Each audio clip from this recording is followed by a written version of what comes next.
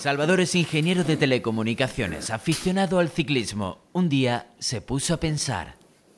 Y pensó en lo aburrido que puede llegar a ser pedalear en una bicicleta estática. Por todo paisaje, cuatro paredes. Por eso creó iGrupeto. Una plataforma de rutas virtuales en bicicleta, dirigido a, la gente que, hace, que entrena en casa o en el gimnasio, en bicicleta estática o en rodillos de entrenamiento. Para darle mayor realismo, tan fácil como poner un sensor a la bici sobre el rodillo. Se elige ruta en el ordenador o tablet. Pirineos, Dolomitas, Alpes, tal vez un recorrido por los pueblos blancos de Cádiz y a rodar. Tiene muchas emociones de la vida real, como son los piques, los repechones que te los representa, o incluso adelantar o incorporarte en un grupo.